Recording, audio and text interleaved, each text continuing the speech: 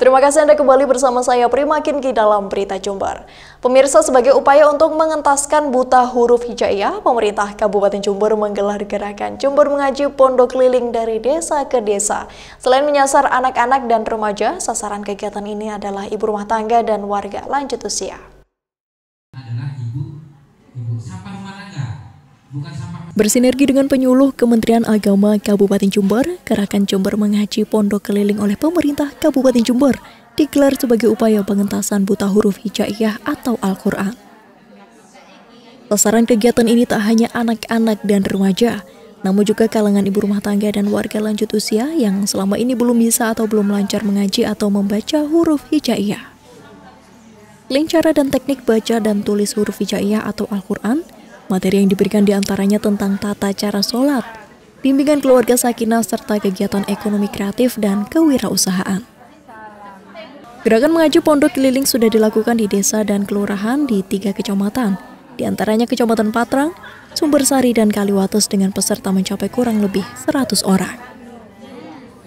Yang pertama adalah baca tulis Al-Quran, Al-Quran jadi memperbaiki bacaannya masih salah, terus kemudian yang buta huruf Al-Quran kita ajari dari awal. Kemudian ada ibadah. Jadi perlu tuntunan ibadah dari ibu-ibu pengajian kita yang memberikan materi itu. Kemudian ada juga bimbingan keluarga sakinah. Ada lagi moderasi beragama kemudian ekonomi kreatif dan produk halal ada life skill berupa cooking class, beauty class, itu dan satu lagi ada Go Green atau pelestarian lingkungan dan kegiatan pada hari ini adalah salah satu program dari pelestarian lingkungan yang didukung oleh Ustaz Sibai. Animo masyarakat seperti apa?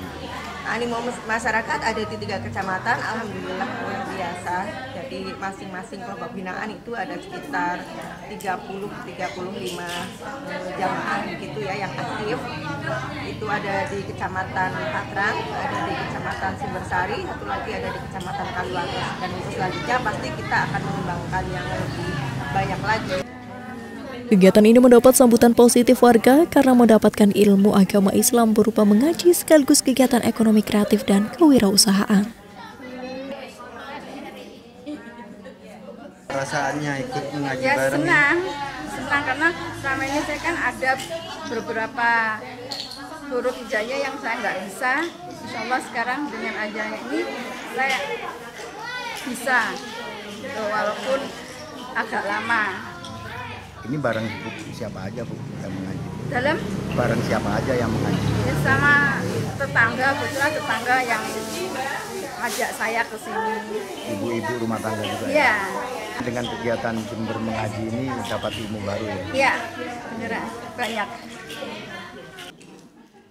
Selain bisa belajar baca tulis Al-Quran, kegiatan yang digelar secara gratis ini juga dikemas dengan pelatihan ekonomi kreatif kewirausahaan, di antaranya membuat tas dari botol mineral bekas maupun plastik kemasan kue.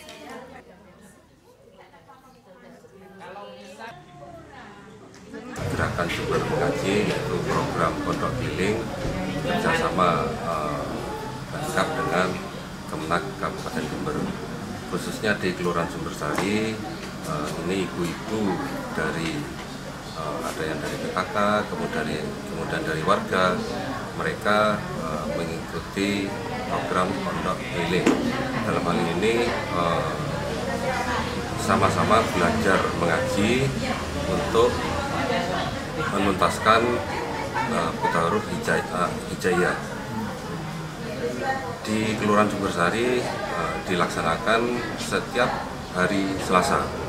Selain mengaji juga ada tambahan ilmu yaitu untuk kerajinan membuat tas. Mudah-mudahan uh, kerjasama ini akan memberikan manfaat nilai ekonomi tambah bagi warganya. Seperti kata pepatah, tak ada kata terlambat untuk belajar meski di usia senja.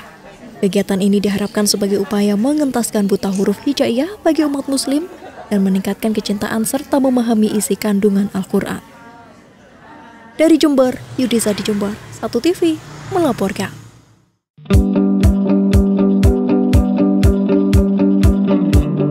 Institut Teknologi dan Sains Mandala menerima mahasiswa baru tahun akademik 2024-2025. Fakultas Ekonomi dan Bisnis terdiri dari S2 Magister Manajemen, S1 Manajemen, S1 Akuntansi, S1 Ekonomi Pembangunan, D3 Keuangan dan Perbankan.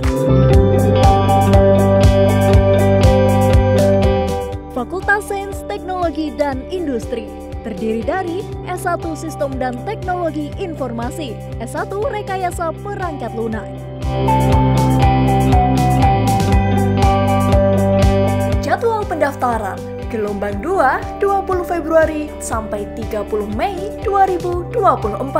Gelombang 3 31 Mei sampai 21 Agustus 2024. Informasi pendaftaran 0821 4002 3227 atau 0812 5255 4205.